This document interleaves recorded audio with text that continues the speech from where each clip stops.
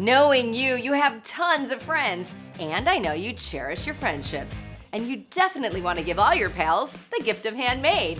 So why spend time weaving thin string together to make a bracelet? The newest trend in friendship bracelets is simple, fun, and easy when you have your brother PS 500 sewing machine. So let's make it! You'll need fabric scraps, a decorative button, hook and loop fastener, scissors or a rotary cutter, a straight edge, and pins. Cut the fabric scraps into 4 inch by 14 inch strips. This length will create a tail to mimic a cufflink closure. So if you want the bracelet to fit snugly on your wrist, then make the length a little shorter.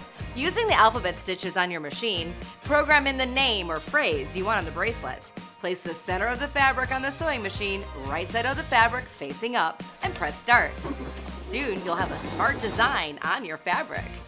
Next, fold the fabric lengthwise with right sides facing each other and the monogram name on the inside and sew it along the long edge. Turn the fabric right side out and turn the end openings in to finish. And top stitch all the way around to close.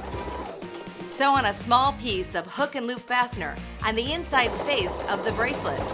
You can place the closure for best fit.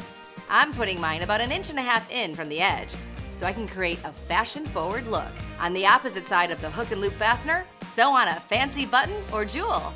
And there you have it, the newest trend in friendship bracelets. They're personalized, you can show all your besties just how special they really are.